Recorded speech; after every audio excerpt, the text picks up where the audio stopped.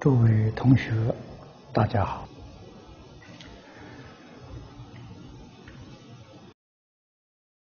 感应篇，我们接着再看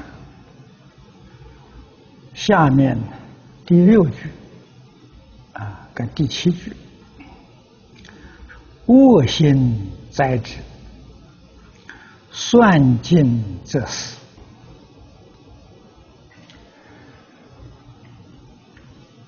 最后这一句是这一段的总结。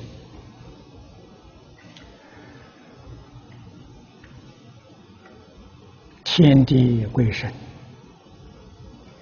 鉴察世间人造作善恶轻重啊，感应篇里面给我们讲了六种果报，这个是六大类，每一类里面都很复杂。啊，都很繁琐。这个第六句讲的是恶心灾之，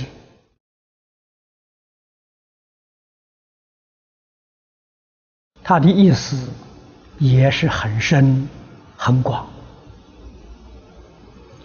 注解里面讲，卧心是心秀。也是属于天神的一类啊。我们常讲天神卧差，他是掌管人间一切灾祸厄难之神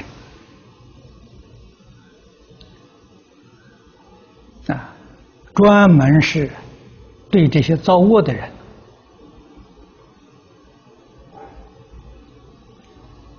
制造一些灾难来惩罚世人的，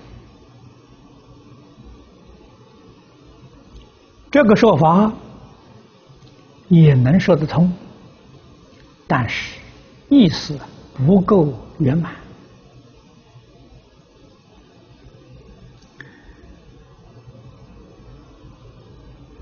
那么人与这些星宿有什么关系？现在人把这桩事情可以说是完全疏忽了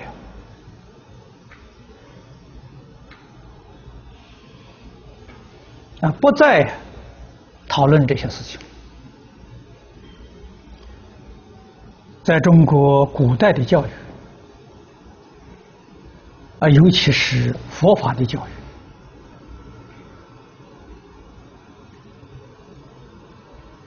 佛法说到就近处，虚空法界一切众生，包括这些天地神明在内，跟我们自己是一个整体。息息相关呐！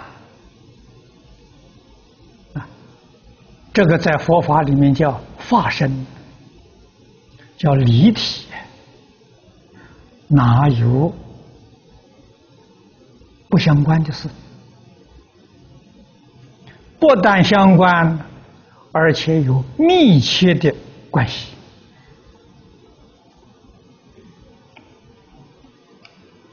一个人。生在世间，念头不住，刹那刹那生灭。佛在经上跟我们说的好啊：虚空从哪里来？世界从哪里来的？众生从哪里来的？生命从哪里来的？这些现象的演变又是为了些什么？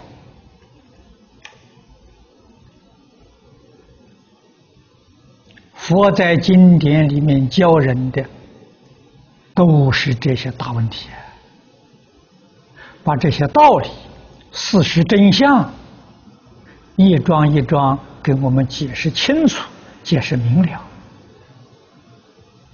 让我们对于宇宙人生的真相彻底觉悟！觉悟的人就叫佛菩萨啊，不觉悟的人则叫凡夫。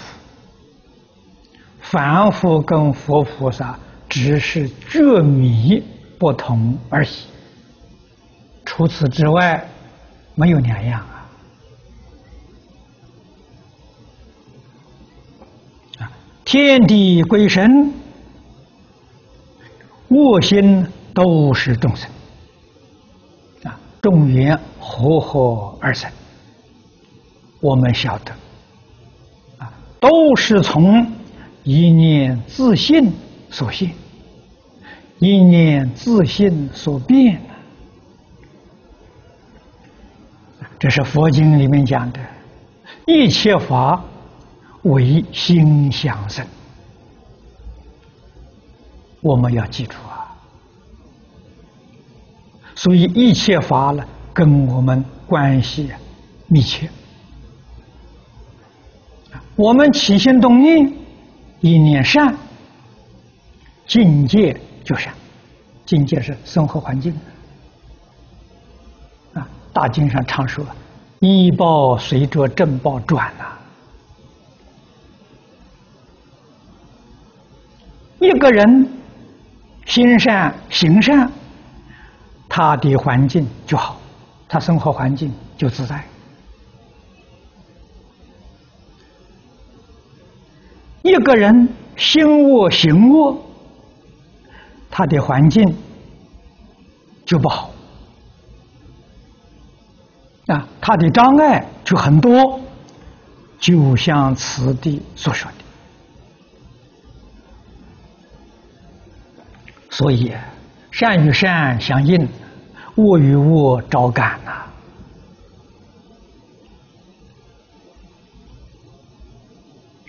啊，中国人对于形象的观念比较差一点。啊，中国人重视五行八字，啊，重视这些。啊，西方人呢，对于星象非常重视。啊，就中国人迷信，西方人一样也迷信啊，他们也算命啊，他们也占卜啊。而西方人算命、占卜，多半是用星象做依据；啊，中国人算命占卜，多半是以易经八卦做依靠。啊，但是这两个看起来好像不同，实际上是一样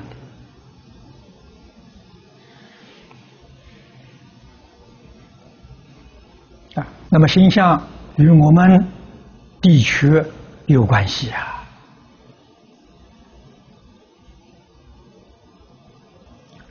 我在新加坡有个同修送给我一本寓言，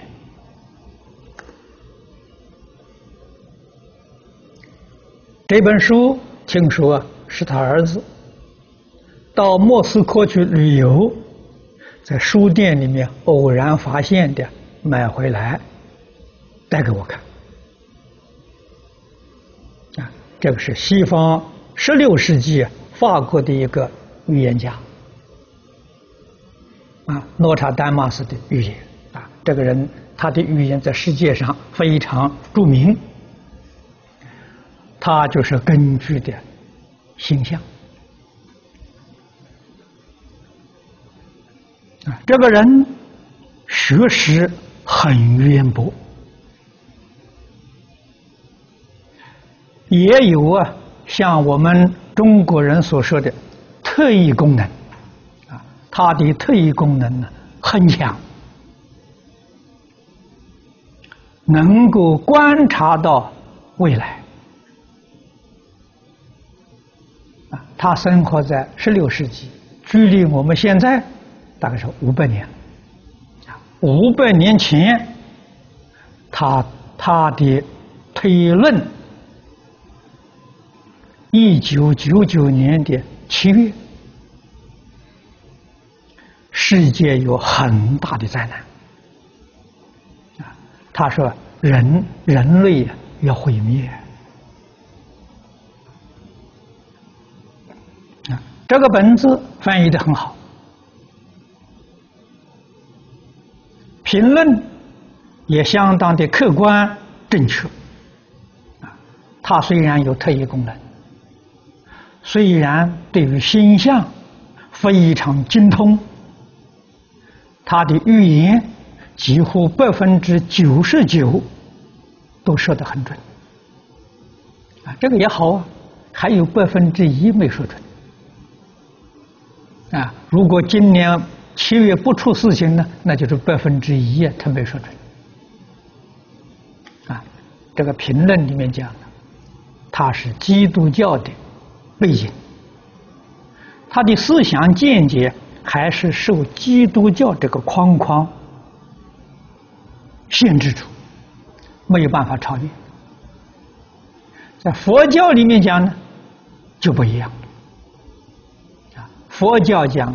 这个艰难是可以化解的，他这个里面讲艰难决定不能化解，人无论是怎么样的思想、怎么样的行为，都不能够改变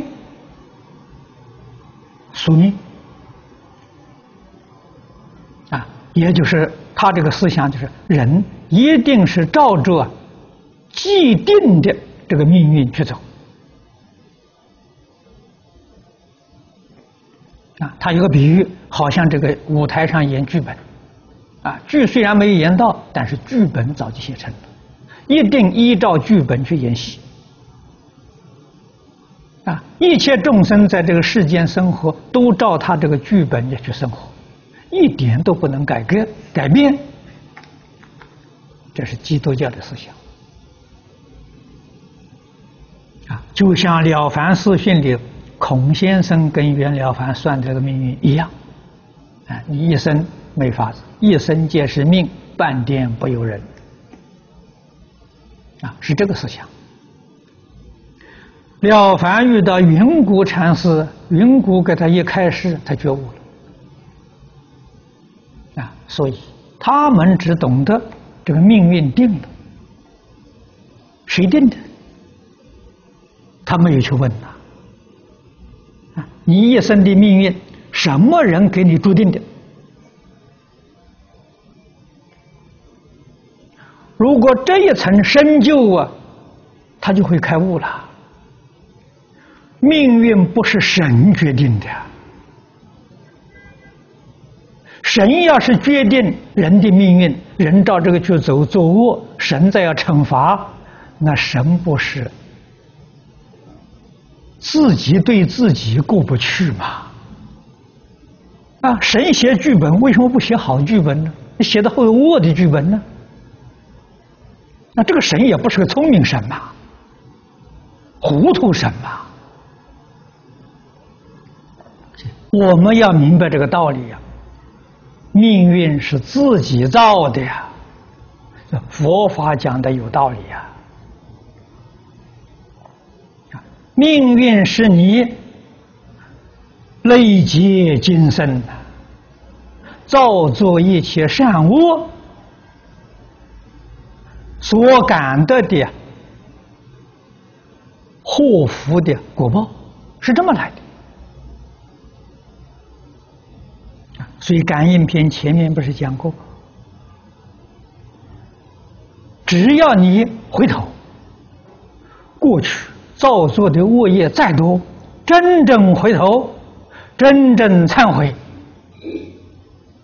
天地鬼神绝对不会惩罚一个悔过之人。啊，真正忏悔悔过，天地鬼神不会惩罚你啊。这个道理很深的你要真正能够相信真正能够理解改过自新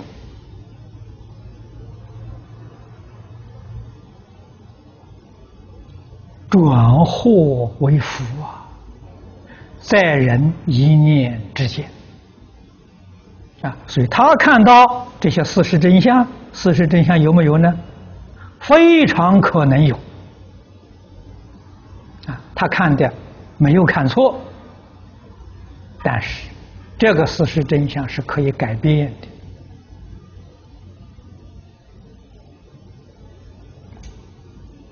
的。啊，如果诺斯丹玛读过佛经，接受过佛陀的教学，他的看法就不会是这样的。啊，不可能呢，是死在这个里面一成不变的。今天讲到卧薪在之啊，啊，我提出这本书啊。这本书里面，今年确实，今年七八月间呢，这个星象啊很奇怪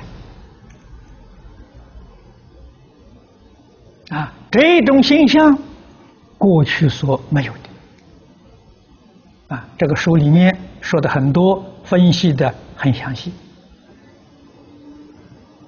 啊太阳系九大行星，包括太阳，这是十个星球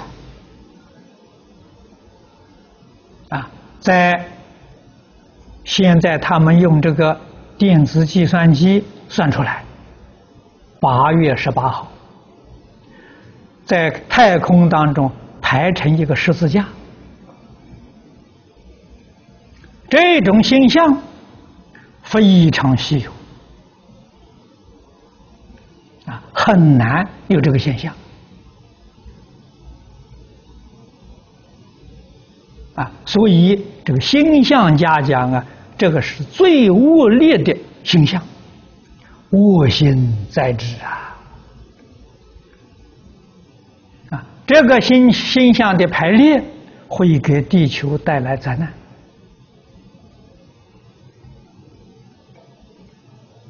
这个是我们用西方人的话来说，这是我们太阳系的磁场，星球这种排列的方式，造成一个最坏的磁场，最不好的磁场。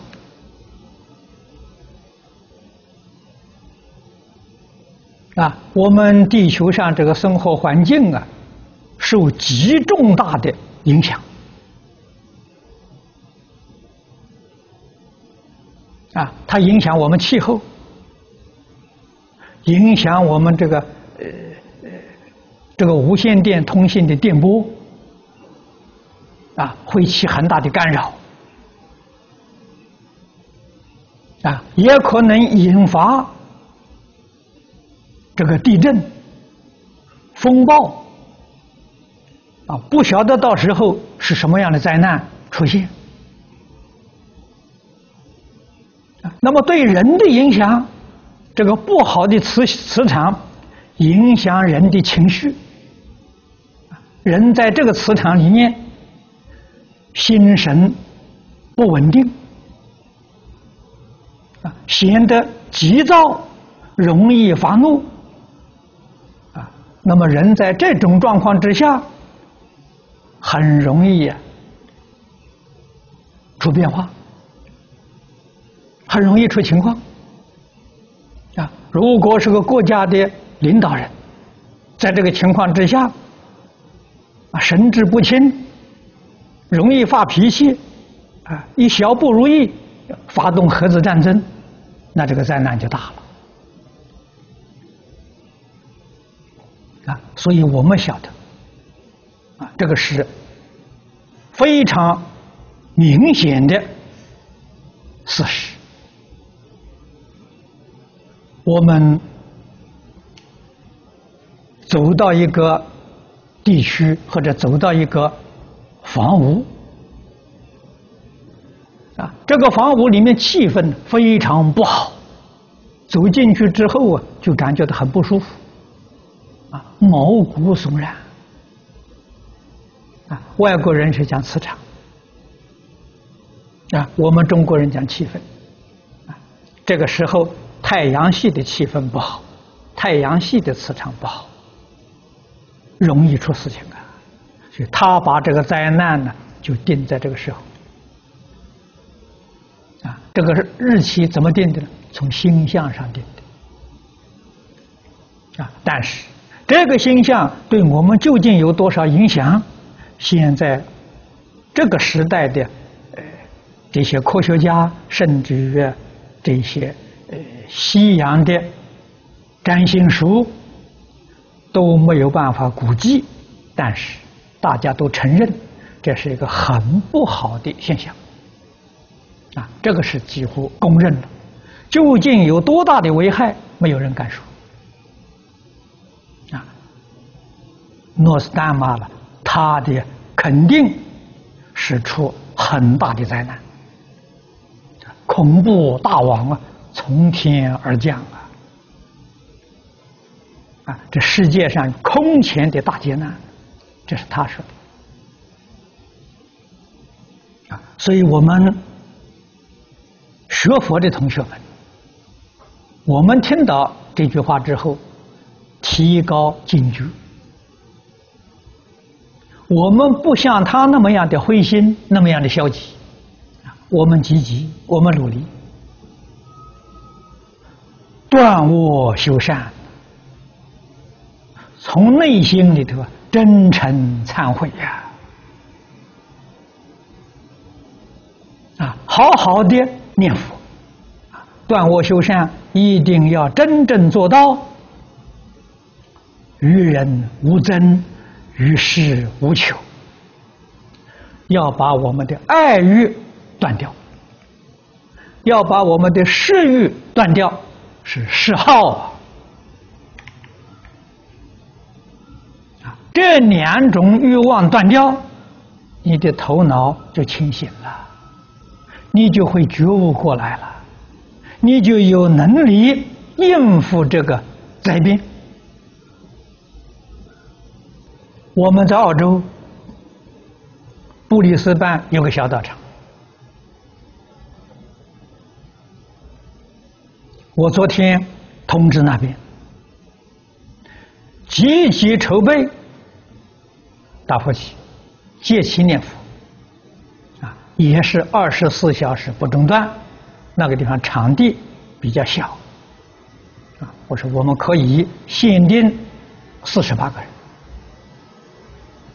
啊，因为只有那么大地方，啊，四十八个人念佛念四十九天，啊，七个七连在一起，日夜不间断。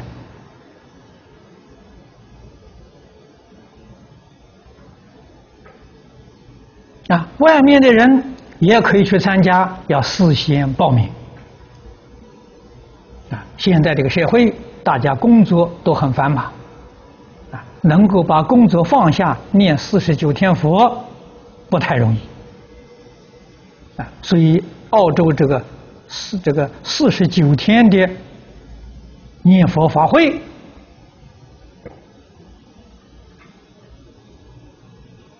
参加的人。我们放宽一点，不要限制那么严。他能够参加一个星期也好，参加两个星期也好，全程参加当然是最好。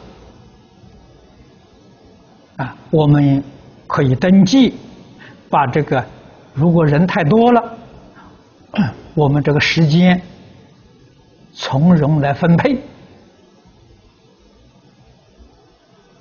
啊。务必使念佛堂每一天都保持四十八个人以上，不会少过四十八个人。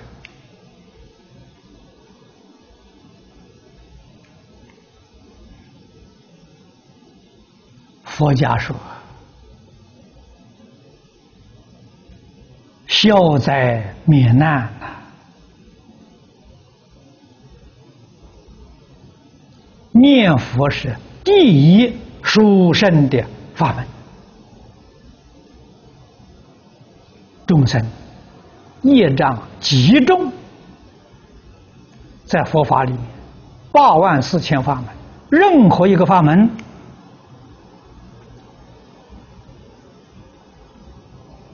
都失去了效果，啊，也就是都救不了他了。最后还有念佛法门，可以帮助他解救危难。啊，他一念佛法门呢，依旧可以得度。念佛在佛门当中啊，是第一殊胜的法门呐。所以十方世界一切诸佛如来对阿弥陀佛的赞叹，称阿弥陀佛为光中极尊、佛中之王，就是这个道理啊。所以今天我们读到这一句啊，就想到这个西方许多星象学家了。告诉我们呢，啊，今年八月十八号，这个太阳系星球排列是一个灾难的排列，啊，那么这个日期距离我们非常非常接近了，